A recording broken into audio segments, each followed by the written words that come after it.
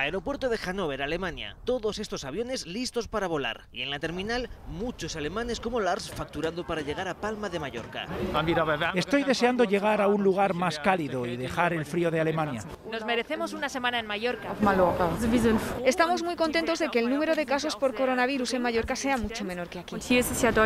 Tras comprobar su PCR negativa, ya pueden subir al avión. Y al llegar a nuestro país se sienten Very safe. Really safe. Very safe. muy seguros. Es la respuesta generalizada de quienes nos visitan.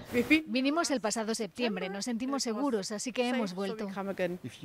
Si continúas manteniendo las distancias de seguridad como hacemos nosotros, creo que está bien. I think it's fine. Al llegar se les vuelve a revisar sus pruebas PCR y fuera del aeropuerto, taxis y un gran número de autobuses esperan para recibir a los viajeros alemanes, pero también a daneses y suecos. Están ya trabajando, imagínense, la alegría que da eso. Los turistas entienden la preocupación de los mallorquines por su llegada, pero aseguran que entre las pruebas negativas, las mascarillas y respetando la normativa no debería haber ningún problema. No creo que esto se puede provocar una cuarta ola. Revisan las PCRs, así que mientras se sigan haciendo así las cosas, yo creo que puede salir bien. Gente muy responsable, no veo ningún peligro. Ya en Baleares, los turistas desean descansar y disfrutar de sus vacaciones.